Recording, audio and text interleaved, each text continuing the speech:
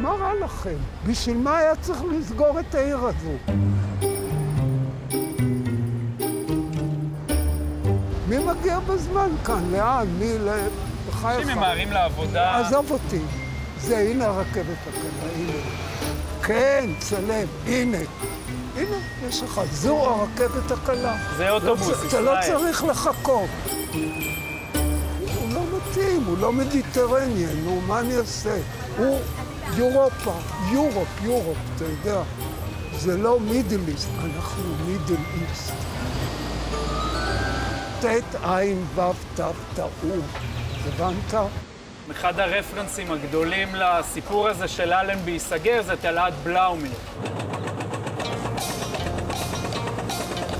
בסוף הסרט, הבן אדם היחיד שמתריע שהאירוע הזה כולו יצא משליטה, הופכים אותו בסוף למשוגע, שהוא הכי שפוי בסרט. חשבתי שאולי בכלל מישהו... מישהו ברח מבית המשוגעים והחליט פתאום לפתוח את רחוב אלנבי. רעיון גאוני. אולי תגמור כבר לכתוב את המכתב, כן? כן? כן.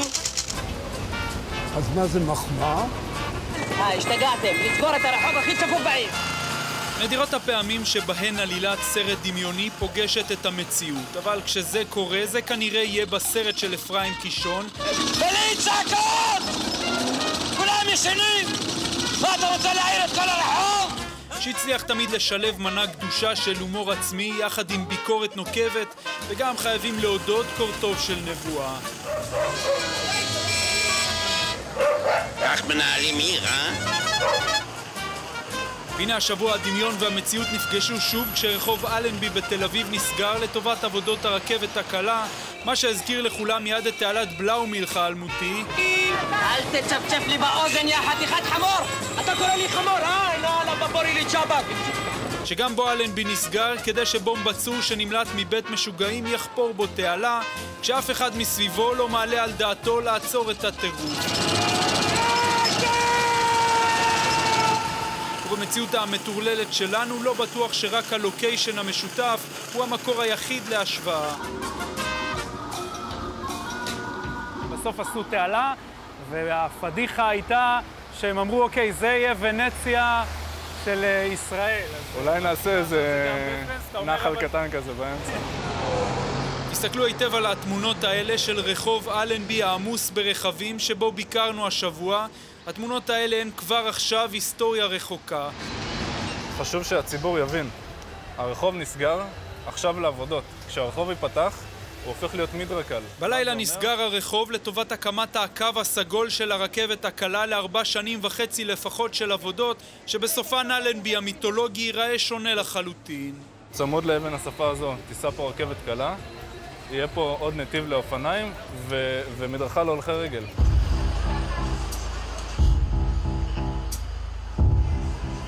זבל, אבק, חול בכל מקום. מה זה הדבר הזה? כאילו, הלכלוך הזה מעצבן. יש לנו ממש פועלים יהודיים בשביל לפנות את האשפה, שהרחוב עדיין יישמר מסודר, נקי. מה זה יעשה לשוק? מה זה יעשה? זה מרכז העיר, אחי. זה נחלת בנימין, האומנים, האנשים שבאים לפה, שלישי ושישי, באים מכל הארץ למכור את המוצרים שלהם. מי החליט להפוך את אלנבי לתעלה? מי? אני לא יודעת.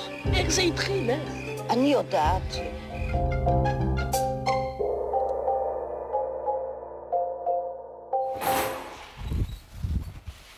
או, שלום. שלום לך, נעים מאוד. Welcome to באתי לפגוש עד ראייה. עד ראייה לתעלת בלאומיר ואלנבי. אבל העניין שקורה היום באלנבי, בהשוואה למה שעשינו את הסרט בשנות ה-70, זה בערך אותו דבר, רק בממדים אחרים. העיר משתנה, רכבת תחתית, סוגרים חנויות, סוגרים רחובות. אז הדבר היחיד אולי שישתנה זה במקום תעלת ונציה, יהיה לנו רכבת. בדיוק.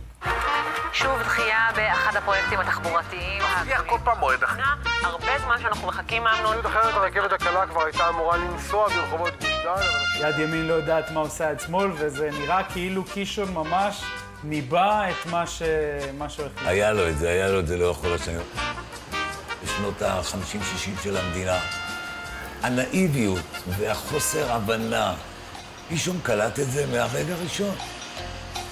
היה לו את החזון הזה, כמו סאלח שבתי, בגישה חברתית למה שקורה.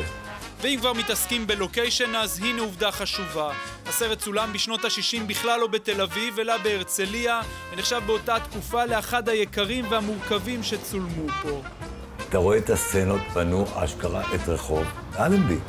צילומי סרטו של אפרים קישון, תעלת בלאומילך, נמצאים בעיצומם ברחוב אלנבי שנבנה במיוחד באולפני ההסרטה בהרצליה.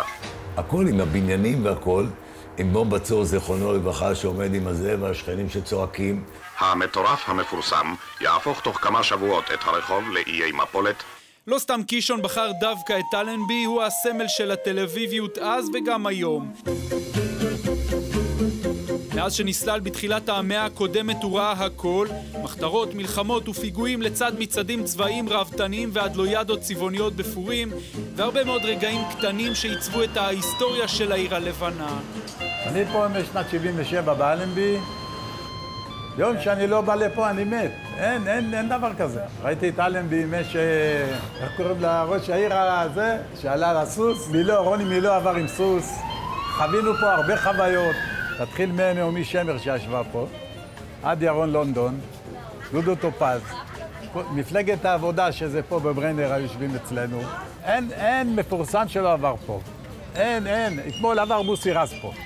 מוסי רז עלה על קו 23, איזה יופי. אמרתי לו, מוסי רז, אתה גבר. אדוני המפקח, שני צעדים מהחלון שלי. עומד שמול דוזר.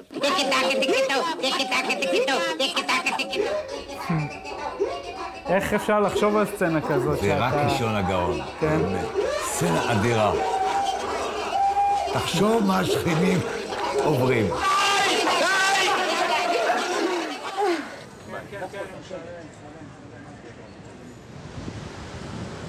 העסק הזה קיים כבר 50 שנה, אני פה 20 שנה, מאז שהשתחררתי מהצבא. בעלי עסקים שרבים מהם נמצאים כאן עשרות שנים, מתרפקים על העבר המפואר של אלנבי, וגם הם יודעים שמה שהיה נגמר ומעכשיו המציאות תראה הרבה יותר קודרת.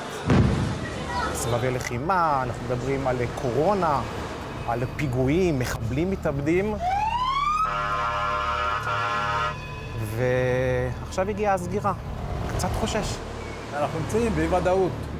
מה זה אומר אי-ודאות? שיש לנו חששות לגבי הפרנסה. לצערי, יש לנו ניסיון מהקו האדום, שהוא כל הזמן הלך ונדחה ונדחה. אז כשהעירייה או נטע מדברים איתנו על ארבע וחצי שנים... עוד דחייה ברכבת הקלה. אני קצת סקפטי לגבי העניין הזה, כי אני חושב שזה ייקח קצת יותר. אני לא יודע אישית אם יש לי את האוויר הכלכלי להחזיק בו את, ה, את הזמן הזה. 51 חודשים, וכרגע אנחנו עומדים ב, בלוחות הזמנים בצורה טובה מאוד. בעוד 51 חודשים יראיין אותי שוב, ואני לא חושב שנתבדה. יותר מדי לסבול בשביל, וגם לא לקבל. ואם זה לא ירוץ בשבת, אז מה כל התוצאה הזו? מה כל הרכבת הזו? אנשים יבואו מפתח, רוצים לבוא מפתח תקווה, מרמת גן, מהאזורים האלה, לבוא לים אם כבר, אז מה, לא בשבת? אז מתי? יש לי משלוח לקחת, שיהיה לכם יום טוב, בהצלחה, יום טוב לכולם, תודה רבה. כבוד ראש העיר, בבקשה. אזרחי העיר, תמיד שאלתם לאן מיסי העירייה הולכים. והנה התעסקנו היום במעמד חגיגי זה כדי למסור לרשות הקהל הרחב את התעלה היפות תל אביבית הראשונה. זה תמיד, דרך אגב, אצל קישון יש את הדברים האלה. דווקא הכי טמבל או הכי זה, הוא יוצא הכי חייב. כמו השוטר אזולאי, שייקי אופיר, שאי אפשר לשכוח אותו. זאת הייתה חוויה להיות פה באולפנים האלה ולהצטלם. אין כאלה, לא עשו סרט כזה לדעתי, לא, לא בהשקעה כזאת גדולה ועצומה. עם סט כזה. הסצנה האחרונה, בסוף הזכרת עם התזמורת. כן. אני חושב שיעשו את זה משהו גם כזה, בסוף שהרכבת תעבור יביאו כן. תזמורת כזאת. יש מירי רגב היום, הכל יכול להיות.